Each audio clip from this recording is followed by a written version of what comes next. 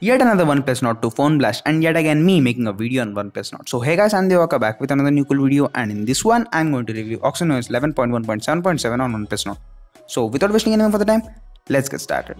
It's been a week since this update started rolling out for the OnePlus Nord and I have been testing it out for a while. Basically it's just a security patch update with minor bug fixes and improved system performance. As the changelog says, fixed the issue of call forwarding function. To be honest, I don't use call forwarding feature and I use OnePlus dialer so it could be a problem where system had problem with Google dialer so I'm not sure on that. Talking up next, it has the November security patch update in December. Nice Christmas gift from OnePlus. Previously we had October month security patch update and now it should be of December but sadly we have the November security patch update. So this clearly means that we are going to have another update in Jan 2022 as OnePlus has promised bi-monthly security patch updates. And I guess all this happened due to OxygenOS 12 development, not for the OnePlus Nord. Most of the things, sorry, all of the things remains the same. And talking about the performance, I got 574 in single core and 1784 in multi-core in Geekbench test.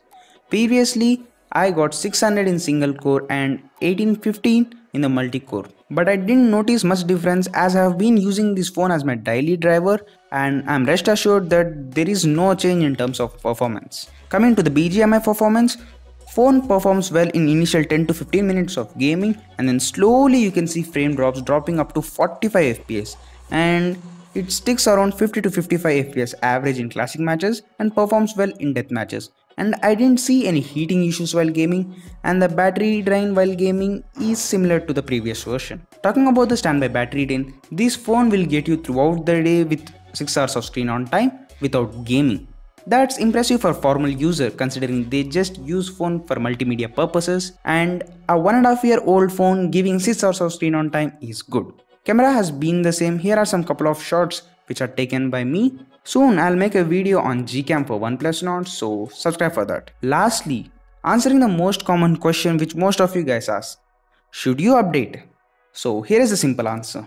You can if you're on OxygenOS 11 and no if you're on OxygenOS 10 and I don't hope so OxygenOS 11 is made for you guys. Catch you in OxygenOS 12 and I hope OnePlus doesn't disappoint you guys. Many of you guys were asking about the custom ROM videos and videos other than OnePlus. Definitely I'll make those once I'll get free time from my daily life.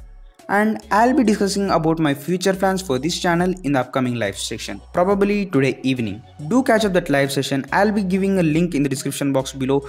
Do join and give me your feedback and your opinions. So that's all for today guys. Hope you guys liked it. If yes, then don't forget to drop a like and share this video with your OnePlus friends and family. And join our telegram discussion group and channel for the update related to OnePlus Nord.